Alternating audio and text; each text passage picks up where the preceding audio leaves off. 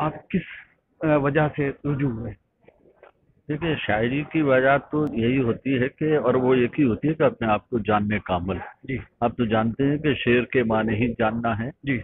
और शायरी यानी जानी हुई चीज़ शायर यानी जानने वाला। तो आदमी अपनी ही तलाश करता होता है।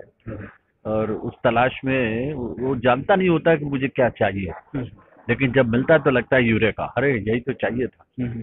तो मुझे लगता है कि शायद ऐसे ही किसी लम्हे में शायरी की तरफ़ रागिब हुआ होगा। जी नहीं तो ये अ, शायरी को जब इंसान शुरू करता तो उस वक्त वो माश रोजी तो नहीं होता है।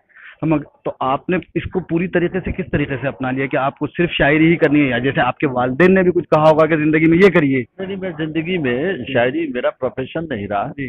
शायरी मेरा ये समझिए कि पैशन रहा। है जी जी। वो मेरा मतलब जैसे बोल चाल में आप शौक कह दीजिए मेरी इबादत कह दीजिए हम्म। वरना नौकरी में कहीं और करता था खाना कहीं और खाता था शायरी का खाना नहीं खाता था। और जो आदमी शायरी के साथ इस तरह जुड़ जाता है जिसे खाना चाहिए वो चाहिए हम्म, तो फिर उसको बहुत सारे समझौते कॉम्प्रोमाइजेस करना पड़ते हैं तो अल्लाह का शुक्र है मुझे ऐसा कुछ नहीं करना पड़ा क्योंकि मेरा कोई ये ताल्लुक था नहीं कि मुझे आप पसंद करें कि ना करें। हम्म, आप पसंद न करें तभी मुझे वही लिखना है आप पसंद करें तो भी मुझे वही लिखना है। अच्छा शायरी के ज़रिए आप क्या मैसेज देना चाहते हैं दुनिया को? क्योंकि एक वक्त में जैसे जोश मलिया आबादी थे इनकलाबी शायर थे इकबाल हैं इस्लामियत के शायर हैं मीर हैं दर्द के शायर तो आपकी शायरी क्या अ, मैसेज मैं मैं समझता हूँ कि शायरी बजाते खुद ही एक मैसेज है। जी। उसमें अगर मैसेज आता है आदमी तलाश में अपने तजर्बे ही आपसे शेयर करता है। हम्म, मुझे क्या तजुर्बा हुआ ज़िंदगी में और मैं उनसे कैसे निकला? अगर वो आपके काम आ जाए शायरी के हवाले से आपके मतलब किसी भी पढ़ने वाले जी, जी, तो मैं समझता हूँ यही पैगाम होता है। हम्म, इस तरह की पैगाम की शायरी मैंने नहीं की और न मैं करना चाहता हूँ। असरी शायरी को क्या अभी देखिए असर में भी वही है जो अच्छे शायर हैं हम्म, देखिए एक बात याद रखें कि आदमी वही रह जाता है यानी शायर वो रह जाता है जिसे ठीक से जाना नहीं जाता है। जो ठीक से जान लिया गया वो मर गया। अच्छा। गाली बात इसलिए है कि अभी लगता है कि हल मन नज़दीक हम्म। अभी इसमें बहुत सारी गुंजाइश है। गुंजाइश। जब तक तो उसमें गुंजाइश बाकी है गालिब ज़िंदा रहेगा। कोई भी शायर उस वक्त तक ज़िंदा रहता है जब तक उसकी था हम्म, उसका एंड उसका तल आप हासिल नहीं कर देते तब तक वो ज़िंदा रहता है। जब आपने उसे जान लिया तो मुझे लगता है कि शायरी बताने से ज़्यादा छिपाने का अमल है।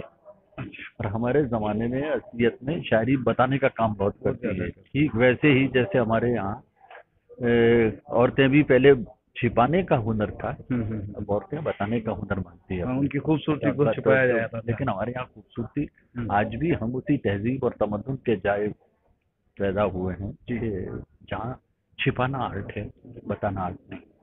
अच्छा मुशायरों की शायरी और अदबी शायरी इन दोनों में कुछ फ़र्क महसूस करते हैं लोग तो उसको आप किस तरह से देखते हैं? क्योंकि आप तो मुशायरों में भी शामिल होते हैं।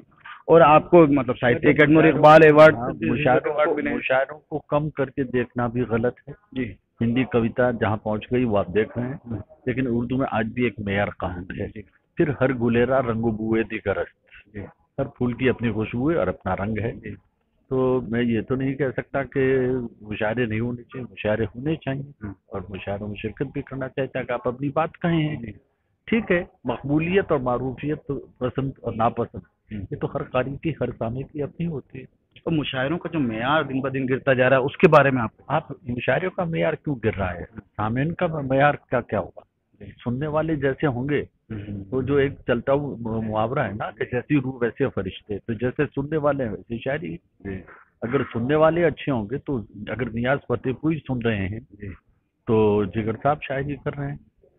और अगर आज आयबान शायद जिन लोगों को पसंद है वो वैसे तो सुनने वाले को मुनसर करता है ना।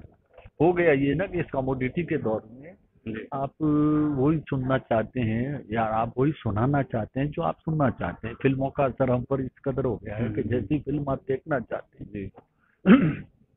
वैसी फ़िल्म बन एक वक्त था कि शायरी जज्बात का एहसास का आईना हुआ करती थी। अभी ये हो गया अभी कि अब नहीं अभी मुझे जो महसूस होता है या सामाइन को जो महसूस होता है वो ये हो गया कि शायर एक प्रोडक्ट हो गया उसकी शायरी एक प्रोडक्शन है।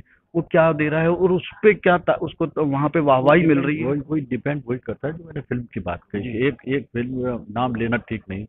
एक फ़िल्म प्रोड्यूसर थे ज़िंदगी भर एक ही फ़िल्म बनाते रहे। वो एक ही कहानी बनाते रहे। अलग अलग अलग उनकी। दस फ़िल्में कहानी एक ही है। जी जी।